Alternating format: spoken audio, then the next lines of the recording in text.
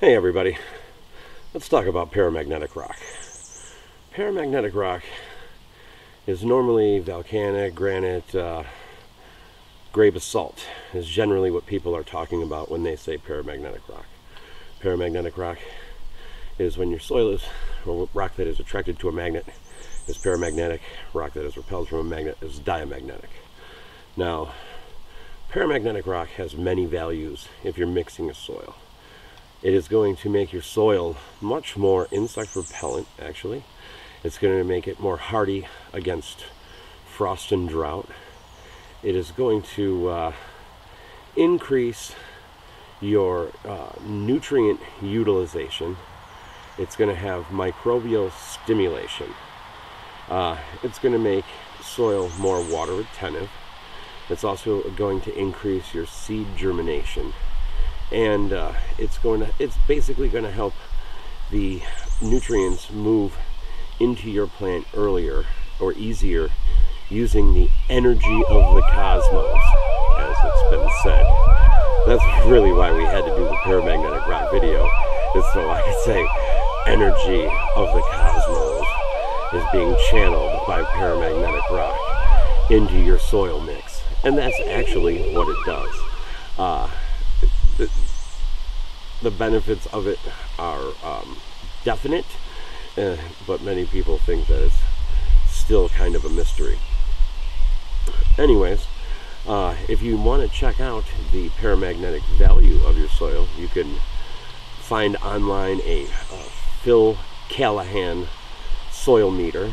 Uh, and if you want to learn more about paramagnetic rock, there's a great book called uh, Paramagnetism by Dr. Phil Callahan also. So uh, this is a little useful video for you so you could know a little more about paramagnetic rock and put some gray basalt in your mix for a lot of reasons. Normally paramagnetic rock isn't added for a mineral value, but it does have all of these benefits. So sometimes it, it comes in things, it comes in a lot of different places. It has a very low value. You want to look for, like I said, the gray basalt is probably the easiest to locate form of uh, paramagnetic rock.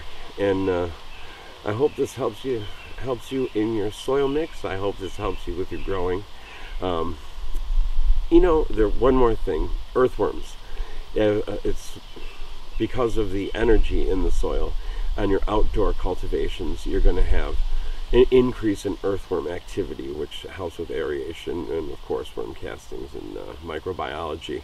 And we're outdoors here in beautiful northern Michigan, and it's a little, little moist water in the plants today for the outdoor growers and the guerrilla growers uh, uh, up here in Michigan. So, uh, anyways, that's a little bit about paramagnetic rock, and now I'm going to wrap it up and get out of the rain and uh, let you get back to mixing your soil. Please subscribe, like our YouTube channel, or subscribe to our YouTube channel, and uh, check us out, Detroit Nutrient Company on Instagram.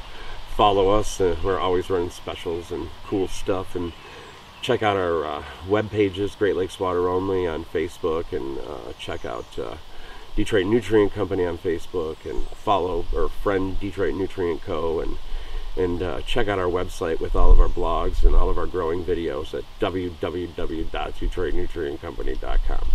Hey, thanks for spending a little time with me. Have a great day.